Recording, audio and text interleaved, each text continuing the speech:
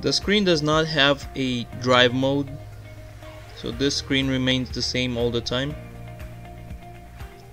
From top to bottom you can read the driver ID, the driver name, the vehicle that you're connected to, that you have done your pre-trip and your shipping information, date and time, and also shows all your hours your driving time 14 hours on duty your cycle of 60 hours which is now showing us only 38 hours left out of 60 time to violation is 749 and 8 hour rest break. When we go off duty for rest break that time zeroes out and starts counting up to 30 minutes.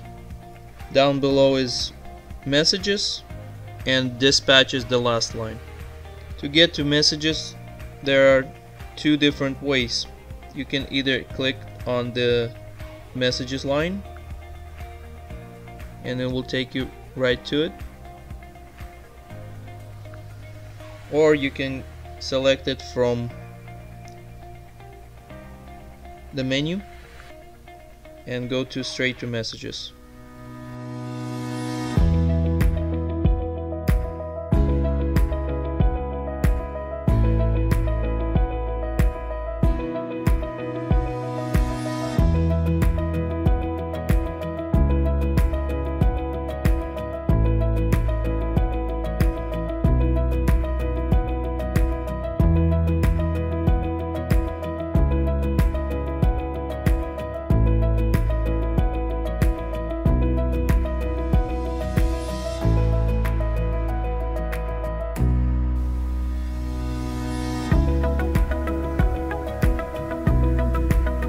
Same thing with dispatch.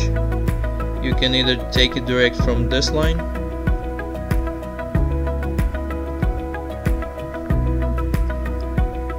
or you can select it from the same menu and go to schedule and it will take you to the same spot.